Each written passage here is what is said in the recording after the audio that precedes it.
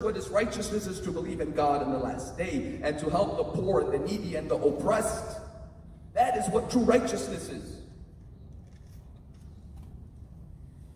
So he said, God doesn't look at your outward forms, but he looks at your hearts and your actions. We want to say it's all about the heart, the faith. Yes, faith is important.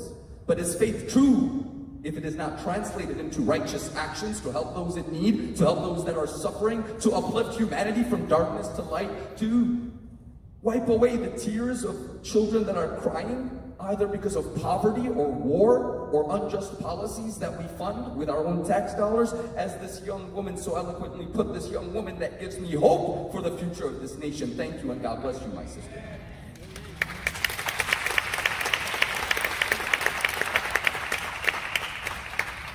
Before his death, the Prophet Muhammad, peace be upon him, gathered all 100,000 of his followers and he gave a beautiful, powerful last sermon.